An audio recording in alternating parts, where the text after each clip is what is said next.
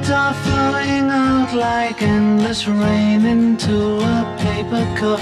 They slither wildly as they slip away across the universe.